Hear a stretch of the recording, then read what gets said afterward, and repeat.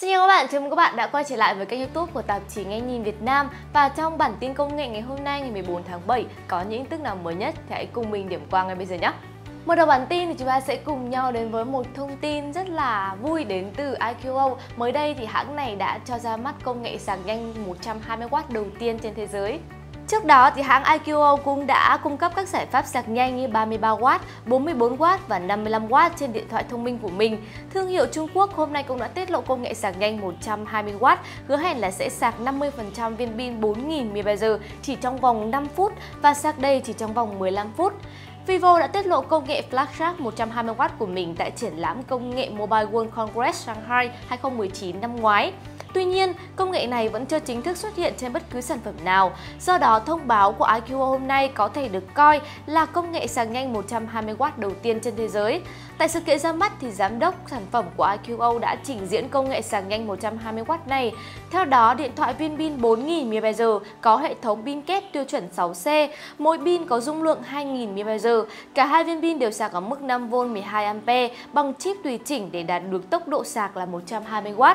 Ngoài ra, thiết bị còn đi kèm với công nghệ làm mát bằng chất lỏng và chip quản lý để đảm bảo an toàn. Thông tin dò dỉ cho biết là IQO đang phát triển một smartphone bí ẩn với khả năng sạc cực nhanh 120W. Thiết bị đã sạc đầy 80% dung lượng pin chỉ trong vòng vài phút. Được biết là IQO đã bắt đầu quá trình sản xuất hàng loạt thiết bị này và sẽ trình làng vào tháng tới đây. Tiếp theo thì chúng ta sẽ cùng nhau đến với những thông tin dò dỉ về bộ Galaxy Note 20 sắp ra mắt và thông tin dò dỉ mới đây thì khẳng định rằng là Note 20 sẽ sử dụng chip Exynos 990. Thông tin từ leaker nổi tiếng Ice Universe đã tiết lộ rằng Galaxy Note 20 sẽ sở hữu bộ xử lý Exynos 990 chứ không phải là chipset Exynos 992 mạnh hơn được đồn đoán trước đó.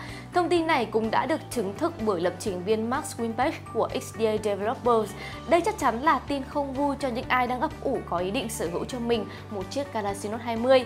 Trước đây thì các thử nghiệm cho thấy là Exynos 990 trên S20 có độ trễ đáng kể so với bộ vi xử lý Snapdragon 865.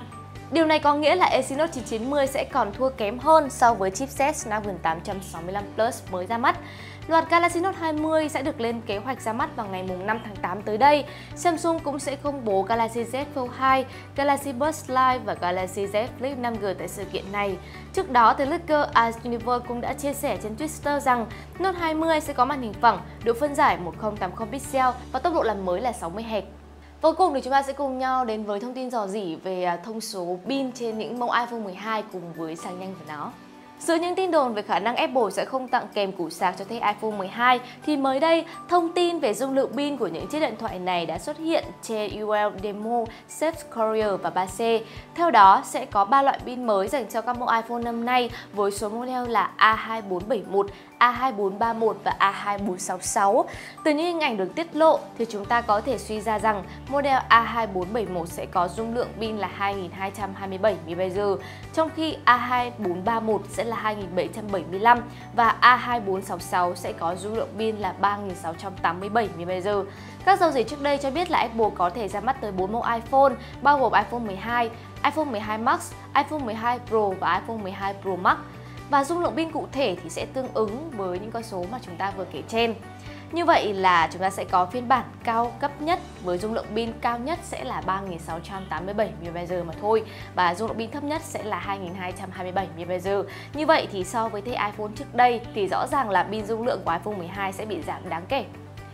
Vậy là vừa rồi thì chúng ta đã cùng nhau điểm qua những tư công nghệ mới nhất trong ngày hôm nay ngày 14 tháng 7 và các bạn cảm thấy ấn tượng với tin tức nào nhất hãy cùng để lại ý kiến trong phần bình luận nhé.